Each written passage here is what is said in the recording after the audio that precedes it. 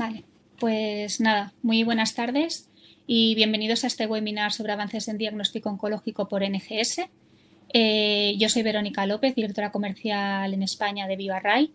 y mientras esperamos que se acaben de conectar todos los asistentes y vamos a dar un par de minutos de cortesía, eh, les explico un poco brevemente cómo vamos a realizar este webinar y cómo funciona, ¿vale? Eh, el webinar tendrá una duración aproximadamente de unos 40 minutos que lo realizará mi compañera Noemi Rivas y una vez acabe la presentación dispondremos de unos 10 minutos más para responder preguntas y dudas que vayan surgiendo a lo largo de la charla. Eh, para, realizar estas, eh, bueno, para realizar la sesión de preguntas disponen a mano derecha de, de un chat donde pueden interactuar con nosotros y exponer todas las preguntas que les vayan surgiendo a lo largo de la charla. Eh, eh, haremos, mm, intentaremos responder a todas las preguntas que surjan durante la charla, eh, pero si ven que alguna de las preguntas quedan pendientes de contestar, no se preocupen, ya que las realizaremos, contestaremos posteriormente mediante correo electrónico. en la parte izquierda del chat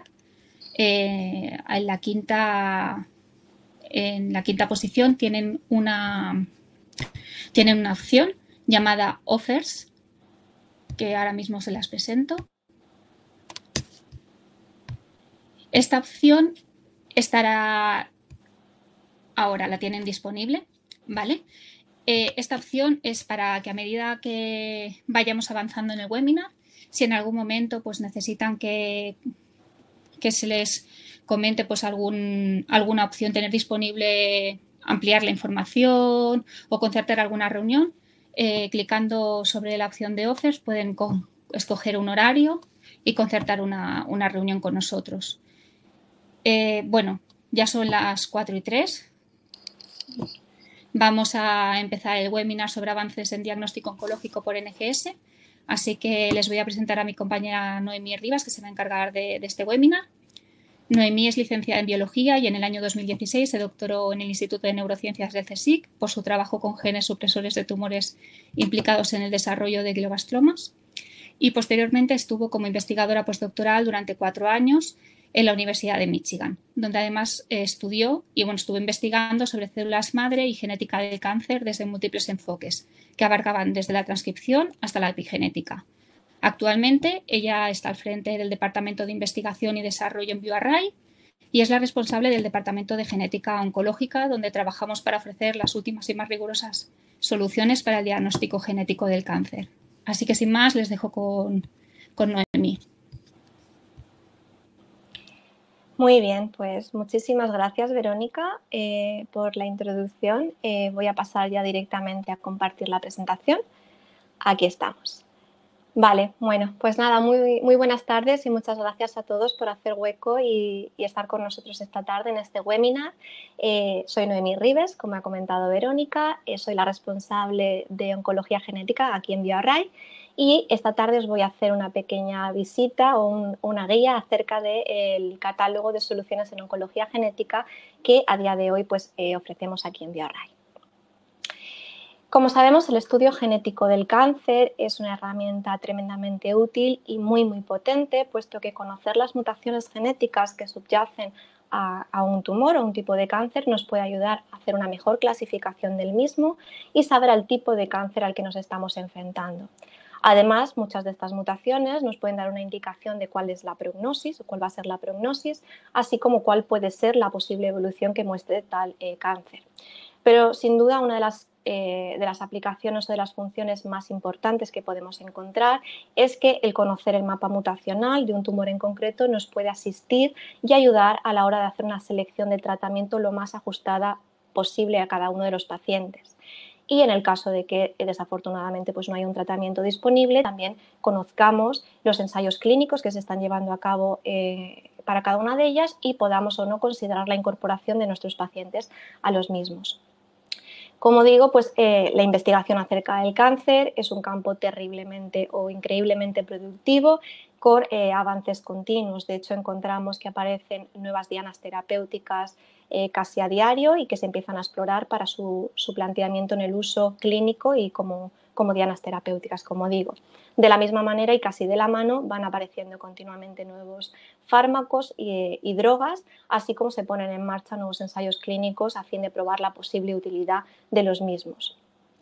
En definitiva, lo que nos encontramos a día de hoy es un catálogo bastante eh, variado y bastante eh, complejo de posibles tratamientos en función de las características de las mutaciones que presenta un determinado tumor.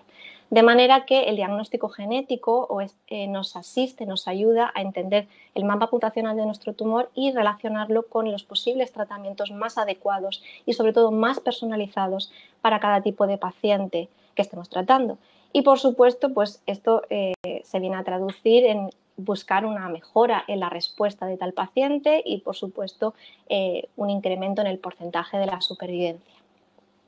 Nosotros desde, desde BioArray ofrecemos soluciones para el diagnóstico genético oncológico a través de NGS, Next Generation Sequencing, para, como digo, dar respuesta a las principales demandas que creemos están presentes en este campo.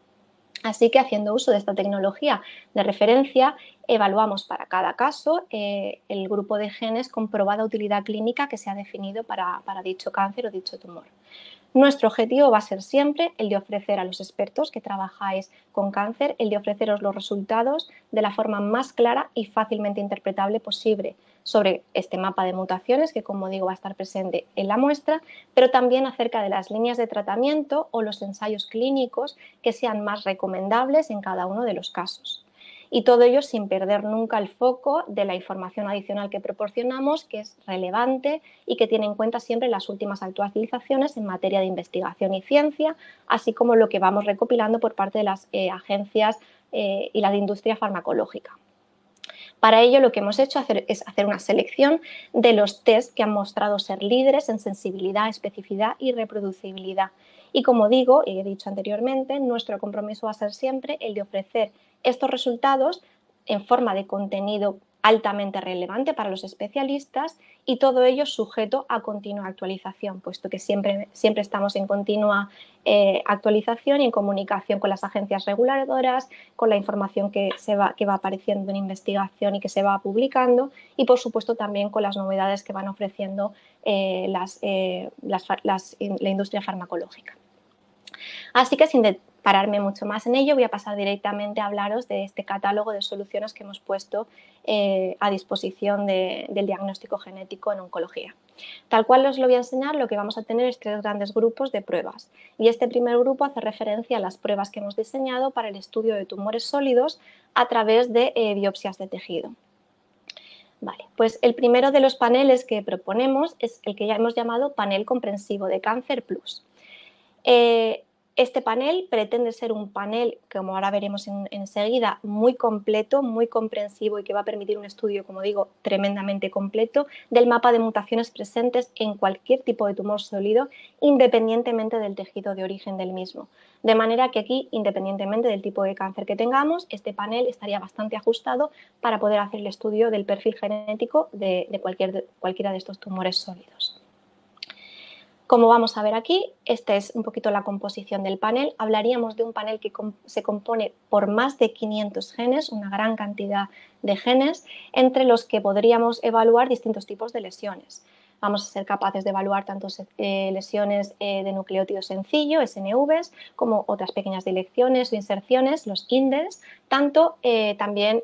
como grandes cambios en el número de copias de, los genes. Pero además, como en este panel no solo extraemos ADN, sino que además extraemos ARN, vamos a ser capaces también de informar acerca de la posibilidad de presencia de genes de fusión pero sin, duda uno de los puntos más importantes a tener en cuenta en la elección de este panel es que aportamos dos datos claves de información aquí, que son la inestabilidad de microsatélites y el tumor mutation burden o la carga mutacional. Estos dos últimos, eh, estos últimos marcadores han demostrado tener una gran cantidad, una gran utilidad, sobre todo en el estudio o la posibilidad de, administrar inmunoterapia a pacientes. Así que es un panel, como digo, extremadamente completo que no solo aporta información de tipo mutacional relativa a genes específicos, sino que además tenemos estas dos piezas claves de información, eh, como es el, índice de el tumor mutation burden y la inestabilidad de microsatélites.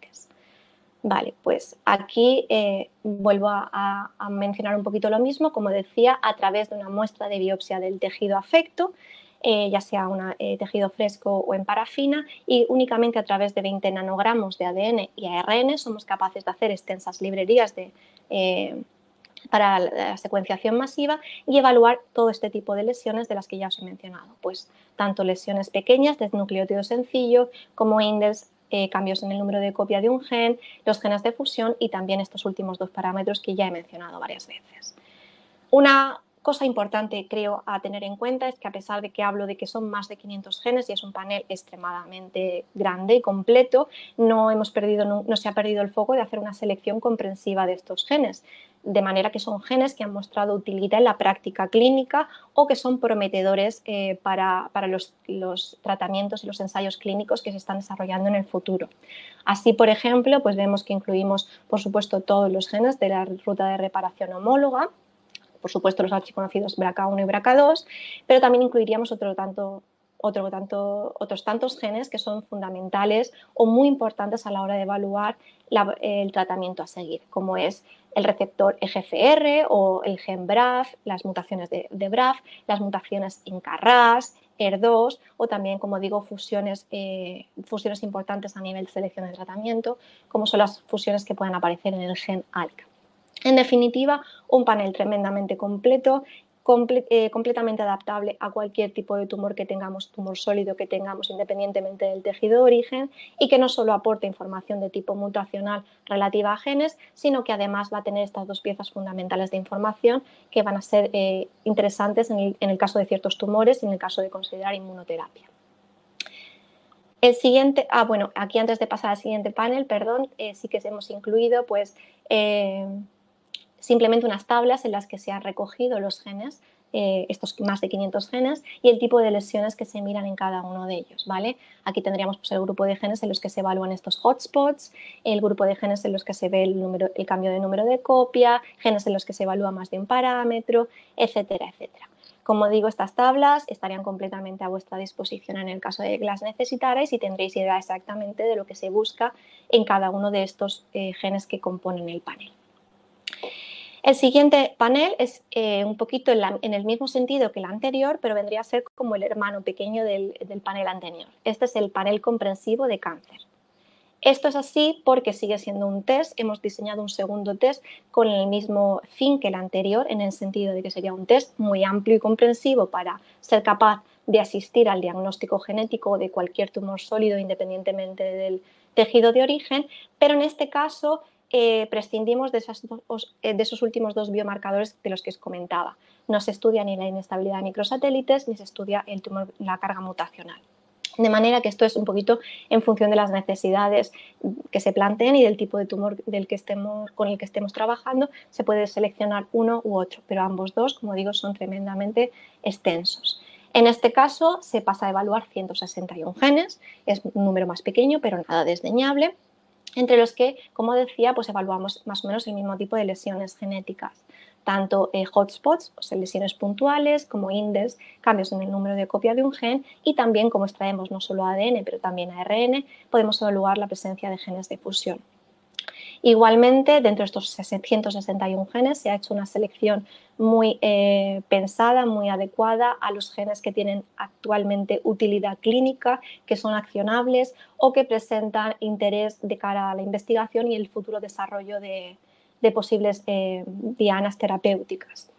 De manera que, como decimos, pues eso, tenemos una altísima cobertura de genes que tienen que ver con la reparación del ADN, entre 261, genes que tienen que ver con el ciclo celular y, por supuesto, pues no dejamos de lado, como decía, muchos, muchos de estos genes que sabemos que mutaciones en estos genes pueden ayudar a eh, indicar más eh, claramente el tipo de tratamiento que más nos interesaría en cada uno de los casos. Como digo, lo principal a recordar es que igualmente sería un panel grande, comprensivo y muy efectivo para hacer el, diagnóstico genético de cualquier tipo de tumor, pero en este caso no tendríamos esa información relativa a la carga mutacional y a la inestabilidad de microsatélites. Nuevamente aquí lo que tenemos es una tabla resumen en la que incluimos estos 161 genes y un poquito el tipo de lesión que se vería en cada uno de ellos. Y eh, como ya digo, pues eh, en el caso de que, la necesitéis, la vais a tener más que disponible y podéis ver exactamente de los genes de los que estamos hablando.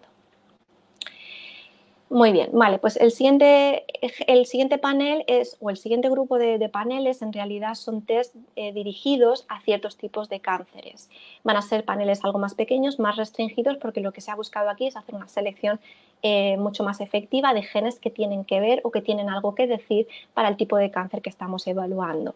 Y esto se ha hecho sobre todo pues, para tipos de cánceres que tienen una, incidencia algo superior en la población y que además están bastante bien estudiados y podamos dar información claramente accionable. El primero de ellos es el que ofrecemos como test eh, de cáncer colorectal. Bien, pues en este caso tenemos un panel que incluiría 18 genes, entre los que incluiríamos los genes de la Mismatch Repair Pathway. ¿Vale? Tenemos todos estos genes, el MLH1, el MSH2, MSH6 y PMS2, con lo cual tendríamos muy cubierta eh, esa, vía de reparación del ADN, pero sin dejar de lado otros genes que también son muy importantes en cáncer colorectal, como es la evaluación del gen APC o el gen MUTIH, y además incorporamos, por supuesto, otros genes como KRAS y NRAS, donde se ha visto que mutaciones en estos genes pues pueden eh, ser informativas en cuanto al mejor tratamiento que, administrar al paciente. ¿Vale? Aquí tendríamos la lista completa de estos 18 genes que, como digo, se han seleccionado por su probada utilidad en cáncer colorectal de la misma manera, seríamos capaces de evaluar tanto eh, cambios de nucleótido sencillo, como en este caso eh, también cambios en número de copia. Y tal y como, como definía al, principio, estos test, eh, estos test se han, se han, preparado para aportar una muestra de, de, biopsia del tejido afecto y siempre, siempre que se pueda, recomendamos altamente que se nos proporcione también una muestra de sangre del paciente, de manera que seamos capaces de dar información tanto de mutaciones germinales como de mutaciones eh, somáticas. Aquí simplemente se hace también un breve apunte en que excepcionalmente o particularmente más bien podríamos admitir también una muestra de sangre única del paciente. Esto sería solo en los casos de pacientes que no tienen, no tienen un tumor activo, pero que desearan conocer el riesgo de cáncer eh, hereditario asociado a alguno de estos genes. El valor de la prueba, pues como ya eh, comentábamos anteriormente, es tremendamente interesante e importante conocer el mapa de mutaciones del tumor con el que nos estamos, eh, al que nos estamos enfrentando, porque esto no solo nos va a permitir caracterizarlo y categorizarlo lo mejor que podamos, sino que nos va a ofrecer una guía en cuanto al manejo y, el, posible, la posible selección de tratamientos más ajustada al, tumor al que nos estamos encontrando. Además, en este caso, con el cáncer colorectal y la evaluación de estos genes de la misma Repair Pathway, podríamos empezar a pensar en si, por ejemplo, el paciente cumple criterios para ser asociado a un síndrome de Lynch o no los cumple. De la misma manera, y dado que incluimos también otros genes interesantes, eh, también podríamos evaluar la presencia o la posibilidad de polipomatosis adenomatosa familiar, gracias a que estudiamos el gen APC, y también la poliposis colorectal asociada al gen MUTIH. Muy bien. Pues este, el siguiente test es el test de detección de microsatélites. Este vendría un poquito eh, a coalición del anterior, aunque es un test completamente independiente, es un test que también puede resultar muy interesante en el análisis de cánceres colorectales. Como sabemos, la inestabilidad de microsatélites es un biomarcador que en los últimos eh, años ha cobrado cada vez más fuerza porque es un muy buen indicador ah, que nos puede guiar acerca de la utilidad de la inmunoterapia para ciertos pacientes.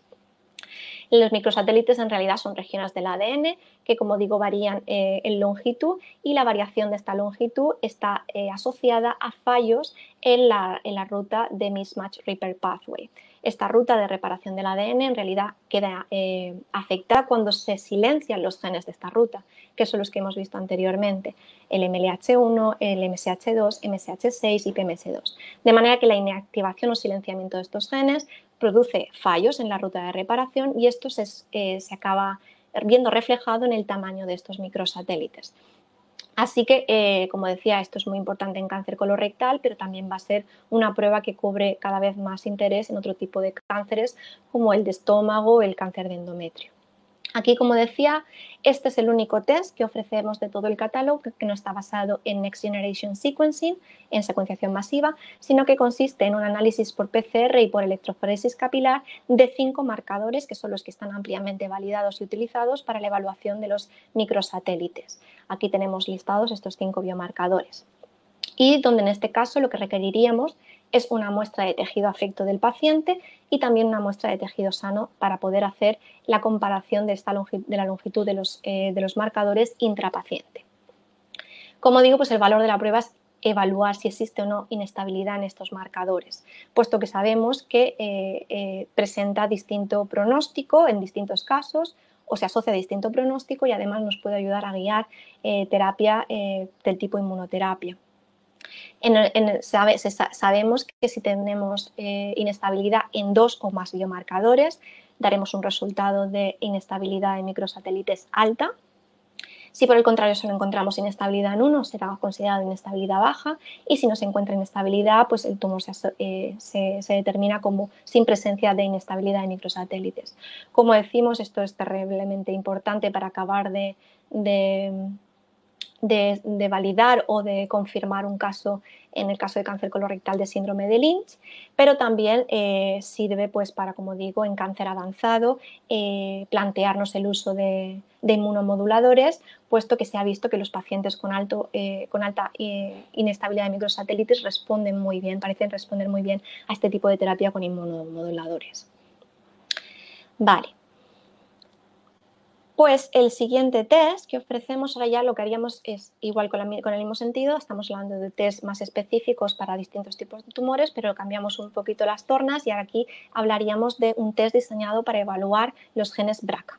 los archiconocidos BRCA1 y BRCA2. Como de sobra seguro que conocemos todos, BRCA1 y BRCA2 son dos genes de la ruta de reparación homóloga del ADN que presentan una asociación o son tremendamente importantes a valorar en muchos casos en el cáncer de mama, en el cáncer de ovario y en el de próstata, entre otros.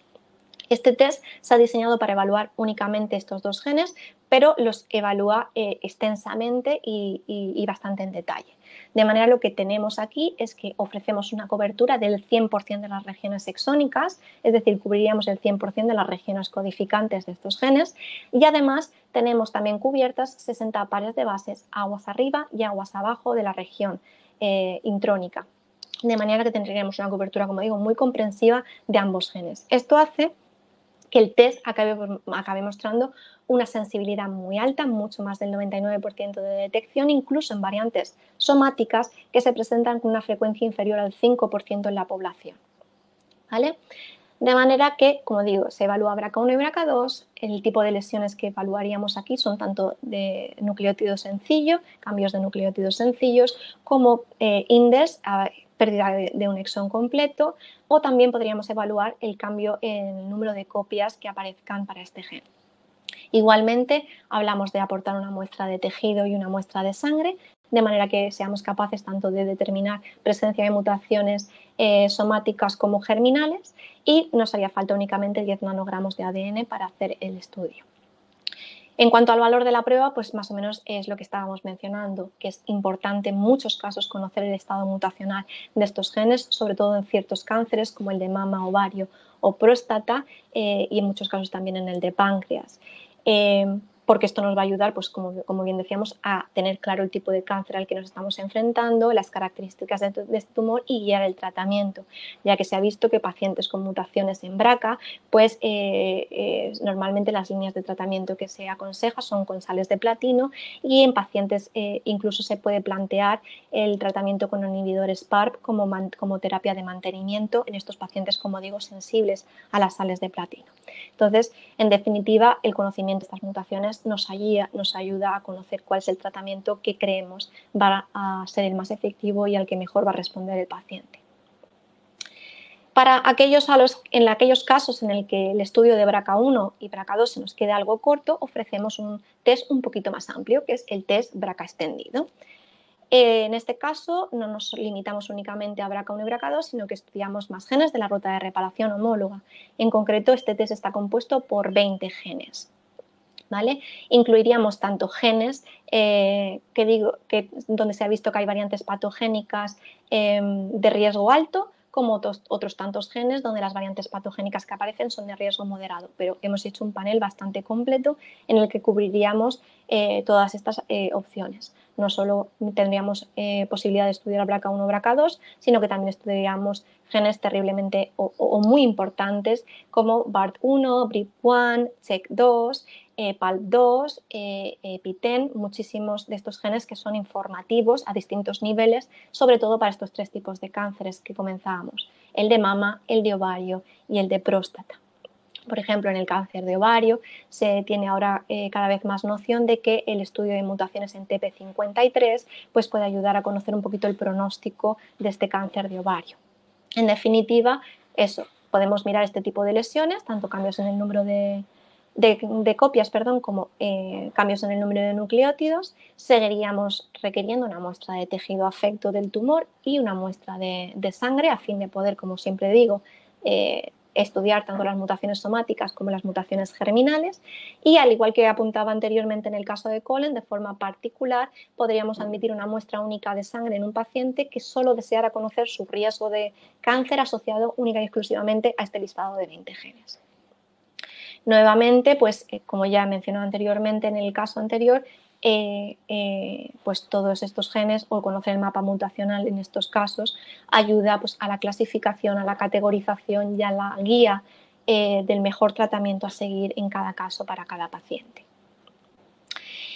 Ahora ya sí que cambiaríamos un poquito de bloque, dejamos atrás eh, los, paneles que hemos diseñado para el estudio, como digo, de tumores sólidos a través de biopsias de tejidos y nos, y nos movemos al test que hemos diseñado para el estudio en concreto de los síndromes de cáncer hereditario. Y este es el que hemos denominado como Clarity Test.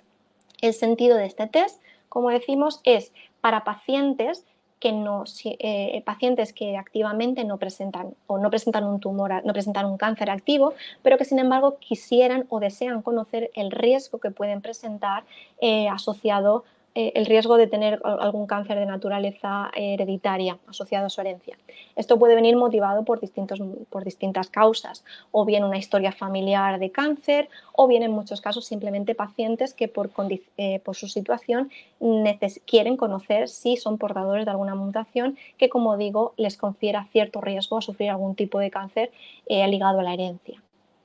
Con este sentido, bueno, pues sabemos que en realidad los cánceres hereditarios no son los más comunes, solo entre el 10 y el 15% de, cánceres que, se diagnostican en realidad son cánceres, son cánceres debido a mutaciones hereditarias, pero sin embargo sí que son cánceres que, eh, que se conocen bastante bien, que se han estudiado bastante bien y lo más importante aquí es que sabemos que ciertas mutaciones en ciertos genes confieren un riesgo bastante incrementado de sufrir ciertos tipos de cánceres en comparación a la población, eh, a la población sin riesgo. Eh, como digo, esto puede ser una pieza fundamental de conocimiento en, el caso de familias con historia familiar de cáncer, pero también en, el caso de que haya otras motivaciones por las cuales el paciente quiera conocer su posible riesgo. Y es que el conocimiento en definitiva es poder. El saber que somos portadores de ciertas mutaciones pues puede ayudarnos a tomar decisiones tempranas, ya sea en muchos casos la propia eh, consideración de inclusión en procesos de exploración tempranos, tales como mamografías o colonoscopias, antes que la población eh, no sometida a, este riesgo, o en el caso de que eh, el especialista médico así lo, así lo aconseje y el paciente tome la, la decisión se pueden tomar medidas profilácticas y también eh, una cosa que considero muy importante es que conocer eh, que somos portadores de cierta mutación y que estamos sometidos a cierto riesgo no solo nos sirve como valor informacional a nivel de individuos, sino que eh, es un conocimiento del que toda la familia puede beneficiarse. Porque el ser conocedores de que existe una mutación en la línea germinal es importante porque otros, como digo, miembros de la línea familiar pueden acabar estando sujetos al mismo riesgo. Así que aquí, pues a partir de una muestra de sangre o saliva, seríamos capaces, capaces de, dependiendo del tipo de gen, evaluar cambios en el número de cambios de nucleótido sencillo, index o también cambios en el número de copia. Y como digo, todos serían mutaciones de tipo germinal. Aquí tenemos el panel de genes que se plantea y tendríamos que, eh, nosotros en este caso hemos recogido 39 genes que eh, se, han descrito como eh, genes con probada relación con cánceres de tipo hereditarios.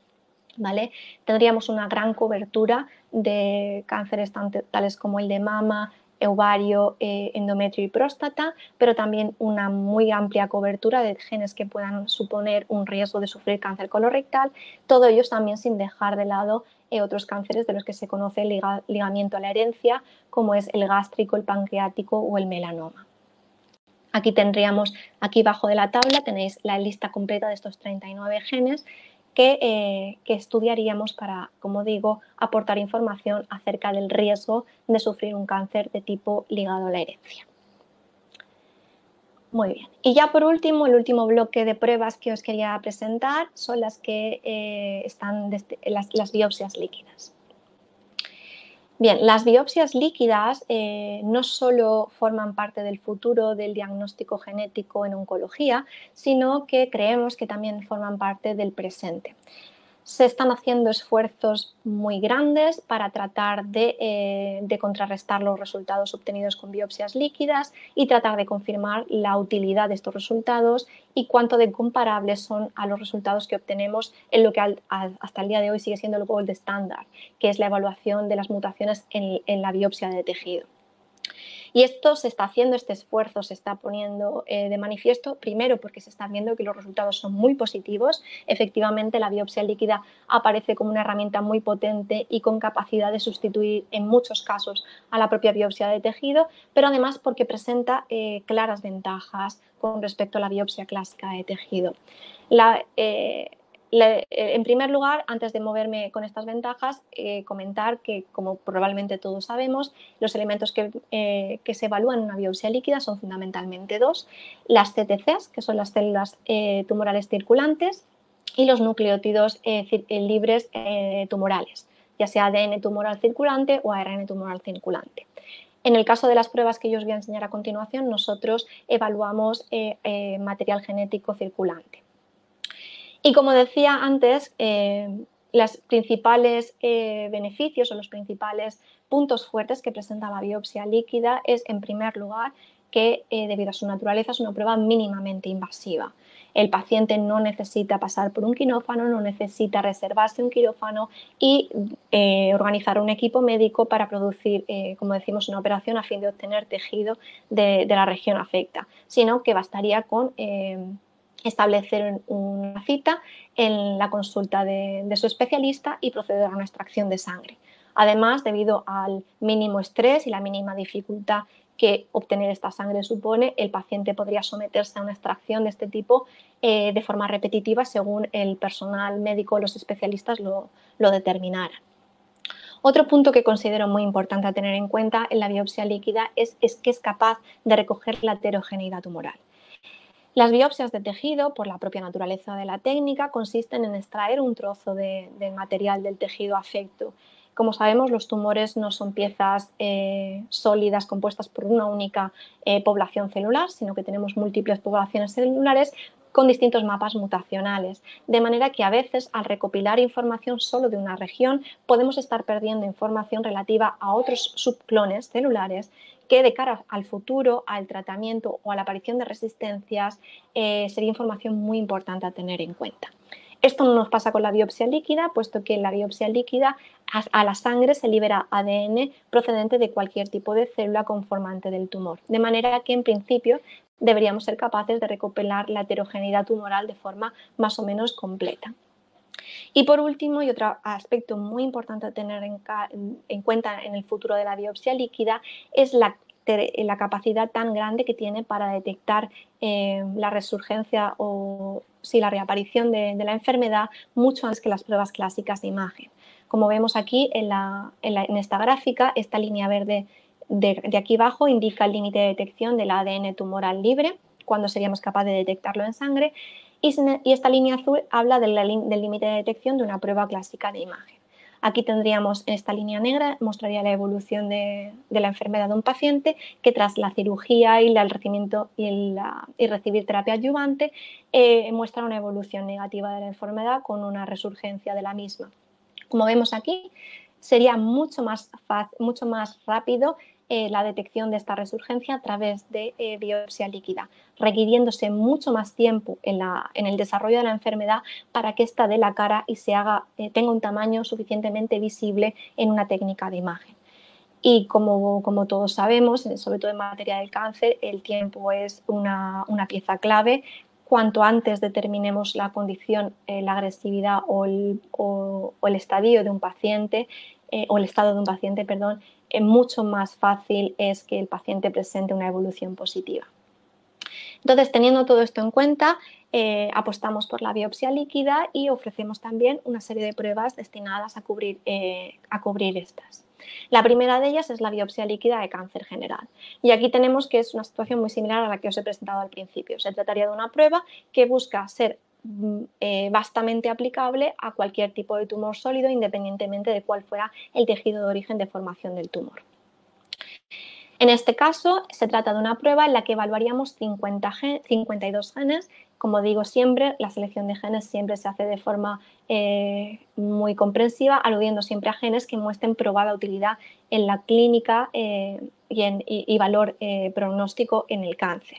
En este caso, en el ADN, en, la sangre, no solo extraeríamos ADN, sino también ARN, de manera que a través de un único tubo de sangre podemos hacer una extensa librería para secuenciación masiva, tanto a partir de ADN como ARN.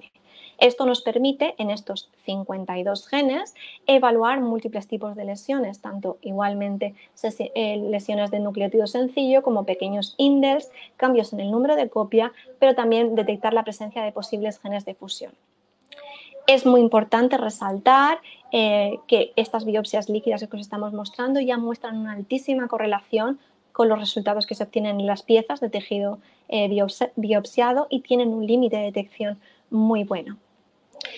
Eh, no voy a entrar en detalle, hablar de todos eh, los genes que tenemos aquí, aquí los tendríais todos listados, simplemente pues como veis eh, se incluyen genes, tal y como apuntábamos anteriormente, que tienen utilidad sobre todo a nivel de, la categorización y la selección del tratamiento. Por ejemplo, pues evaluaríamos, como ya he dicho anteriormente, em, fusiones en ALK, evaluaríamos genes como el receptor EGFR, ER2, el, gen, el GenMet, eh, también fusiones de ROS, fusiones en eh, perdón, eh, mutaciones en NRAS, en KRAS, de manera que, como digo, pues son siempre genes seleccionados por su probada utilidad en la práctica clínica. Y en definitiva, el valor de estas pruebas es que, como digo, nos permitiría tener una noción mucho más completa de la heterogeneidad tumoral, teniendo información tanto de dianas accionables, eh, en el momento como incluso información futura o información eh, que, se, puede mantener en la ficha del paciente y pueda ser de interés en el futuro o según la evolución de la enfermedad. Detectar, por tanto, clones resistentes, es decir, cuáles son las mutaciones que están aquí que nos están ofreciendo resistencia para guiar el cambio a una segunda línea de tratamiento, pero de una forma completamente, como digo, guiada en función de la genética del tumor. Y también, pues, por supuesto, hacer un seguimiento del paciente, siendo capaces de detectar resurgencia antes, de, antes que lo hagan las pruebas de imagen.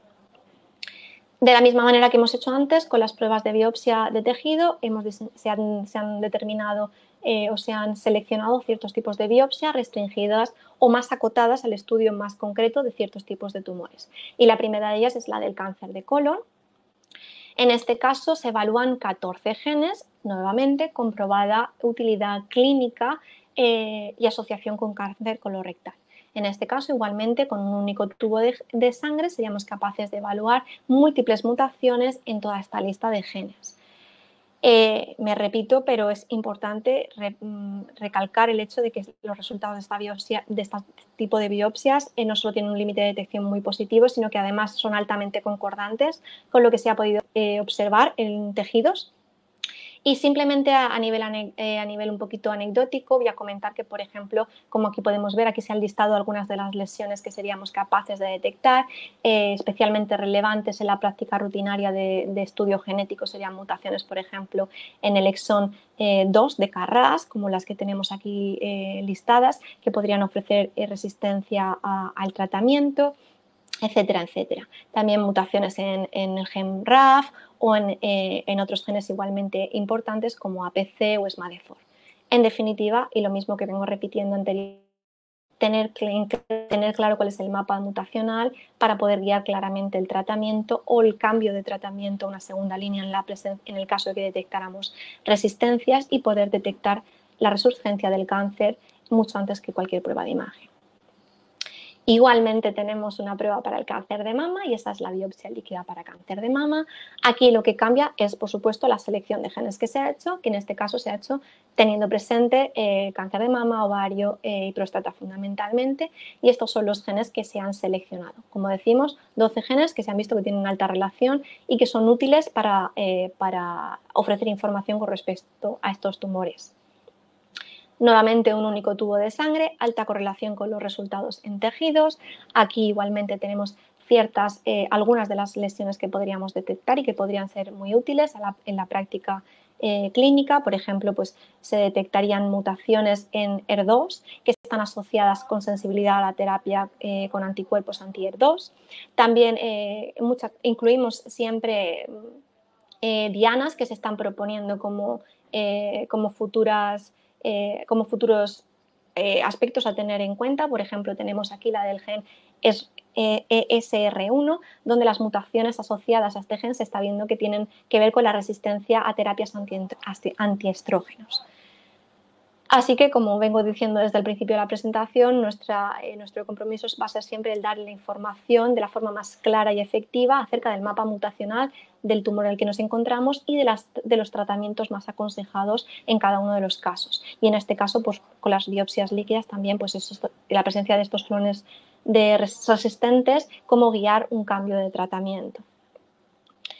Y finalmente tenemos la biopsia líquida para el cáncer de pulmón de células no pequeñas. En este caso, eh, esta biopsia líquida merece una mención eh, algo especial y es que, como he dicho ya varias veces a lo largo de la presentación, el gol estándar para el estudio genético de tumores sigue siendo el estudio del tejido, de estas biopsias de tejido eh, y aunque se están haciendo esfuerzos muy grandes para introducir la biopsia líquida en este sentido, pues en la mayor parte de los tumores se sigue, se sigue prefiriendo hacer una evaluación a través de tejido propio del tumor. En el caso del pulmón, debido a la propia naturaleza del, órgano y del, eh, y del, tumor, lo que nos encontramos a menudo es que es un tumor, pueden ser cánceres que sean muy difícilmente biopsiables o que eh, la obtención repetitiva de tejido se haga imposible. De manera que otro aspecto muy importante que tiene la biopsia líquida es que nos va a permitir en un único análisis evaluar múltiples marcadores. No vamos a tener que ser, eh, no va a ser necesario tener que seleccionar el marcador que queremos mirar o la mutación que queremos mirar. Y si no aparece como positiva, plantearnos que a lo mejor no es posible una segunda evaluación para evaluar la siguiente mutación que era el segundo, el segundo candidato a evaluar. Con la biopsia líquida que os, proponemos podemos evaluar el panel completo y tener en, una única, eh, en una única prueba una imagen completa de este mapa mutacional. Y como decía, en el, caso de pulmón es especialmente relevante porque eh, la biopsia líquida ha empezado ya a reconocerse como herramienta complementaria en este diagnóstico genético primario, debido principalmente, como digo, a las dificultades de biopsiar el pulmón y a la escasez, escasez en muchos casos de tejido suficiente para evaluar múltiples marcadores.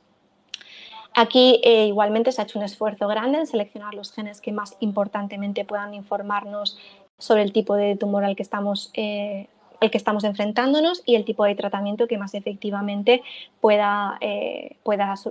pueda ser de utilidad para el paciente. Así, por ejemplo, vemos que en el receptor EGFR se miran mutaciones que afectan a la elección del exón 19 u otro tipo de mutaciones, que son las que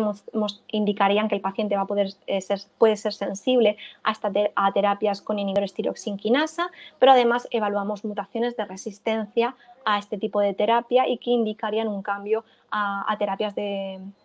segunda línea en función de la aparición de esta resistencia. No solo en EGFR, que es uno de los genes que se miran de forma rutinaria en cáncer de pulmón, sino, por ejemplo, también miraríamos fusiones del gen ALK. Las fusiones del gen ALK, que son las que normalmente afectan a, este, a, estos exones del gen, son las que producen la activación constitutiva de este gen y que en este caso se ha visto que los pacientes que presentan este tipo de fusiones no suelen presentar mutaciones en el gen anteriormente mencionado, en EGFR, ya que normalmente suelen ser eh, exclusivas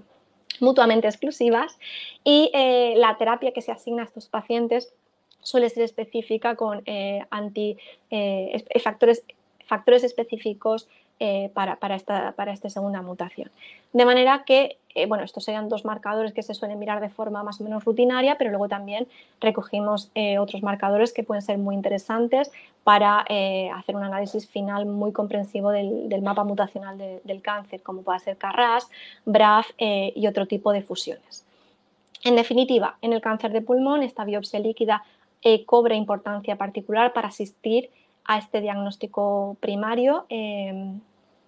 y, por supuesto, en la misma medida que hablábamos en las anteriores, que también ofrece información de toda la heterogeneidad tumoral, de las posibles resistencias a tratamiento y que puede plantearse a lo largo del tiempo para evaluar eh, la progresión del paciente y la detección de resurgencias antes que cualquier prueba de imagen. Vale, y con ello simplemente antes de acabar voy a hacer un breve repaso porque he estado hablando un buen rato de todas las pruebas que ofrecemos. Eh, este primer bloque se refería a estas pruebas que decíamos que son pruebas que hemos diseñado para la evaluación o el estudio genético de tumores sólidos a través de muestras de biopsia de tejido, donde teníamos estos dos primeros paneles, el comprensivo y el comprensivo plus, que estaban diseñados para evaluar o hacer el estudio genético de cualquier tipo de tumor sólido independientemente del tejido de origen. De manera que con una única prueba podríamos evaluar casi cualquier tipo de, muestra que, nos hiciese llegar. Y la diferencia fundamental es que en el plus, como decimos, además incluimos dos marcadores muy interesantes en muchos tipos de cáncer, como es la inestabilidad de microsatélites y la carga eh, mutacional. Luego tendríamos test específicos para distintos tipos de, tumores más eh, representativos o más representados en la población, como es el test para cáncer colorectal, el test BRCA y el BRCA extendido. Luego en un segundo bloque os he hablado de, nuestra prueba para síndromes hereditarios de cáncer, que es este Clarity Test, que lo proponemos para todos aquellos pacientes que aún no, sufriendo un cáncer de forma activa por la motivación eh, familiar o del tipo que sea, necesiten o quieran ser conocedores de si están sujetos o no a eh, un riesgo de sufrir un cáncer ligado a la herencia. Y el último bloque de pruebas serían las biopsias líquidas de las que os he hablado hace unos minutos planteando igualmente una prueba general para poder asistir a cualquier tipo de, cáncer, eh, como pruebas algo más específicas en la que la selección de genes se ha hecho pensando en este tipo de cáncer y eh, serían pruebas pues, más dirigidas al estudio colorectal de mama o el cáncer de pulmón de células no pequeñas. Y con esto ya simplemente despedirme, daros a todos los que habéis asistido las gracias por eh, dedicarnos un poquito de vuestro tiempo. Eh, confío en que os hayáis quedado con una idea general de todas las soluciones que somos capaces de ofrecer. Y por supuesto, quedo completamente a vuestra disposición para contestar preguntas, encantadísima de contestarlas, tanto ahora como en el futuro a través de las distintas formas que tenéis de contactar conmigo. No he entrado a nivel técnico eh, con mucho detalle, por supuesto, sí, porque no tenemos tiempo para ello, pero si quisierais conocer información mucho más precisa de mutaciones concretas o de tipo de tratamiento que se recomienda o cualquier tipo de detalle un poquito más técnico en el que no he tenido tiempo de entrar, como digo, encantadísima que os pongáis en contacto conmigo y, y charlamos. Y ya para dudas un poquito más comerciales tenéis a mi compañera Verónica, que ya mejor que yo os va a saber asistir en todas estas dudas gracias Noemi por tu charla. Eh, como vamos un poquito justitos de tiempo, creo que hay alguna pregunta por ahí mm, que han comentado. Eh, solo recordaros que si queréis concertar alguna reunión para aclarar algún tema, eh, dudas que os hayan podido surgir y que no hayamos podido hablar aquí, tenéis la opción de offers donde podéis solicitar día y hora para contactar con nuestro equipo comercial. Y nada, Noemi, si quieres contestar la pregunta que tenías pendiente que nos han enviado y con esto terminamos esta presentación. Eh, vale, bueno, pues eh, brevemente voy a contestar a un par de preguntas que tendríamos aquí, a ver que las localice. Eh, Vale, tenemos aquí una pregunta que dice sobre biopsias líquidas. ¿Es necesario conocer la mutación que fue identificada al diagnóstico para hacerle un seguimiento o se hace a ciegas? Pues esto es completamente dependiente de la información que tengamos. Si eh, tenemos información inicial de una mutación que ha podido ser identificada a través de otra prueba, como ha podido ser un estudio genético del tejido, pues, eh, pues fabuloso, la tendríamos súper en cuenta, pero no es limitante. No es que necesitemos sí o sí conocer esta mutación, puesto que nosotros tenemos un panel eh, puesto en conjunto en el que evaluamos los principales genes y las principales mutaciones que creemos que son de relevancia para guiar el tratamiento. Así que, como digo, eh, se agradece, pero si no la tenemos no es, no es limitante para poder hacer la biopsia líquida.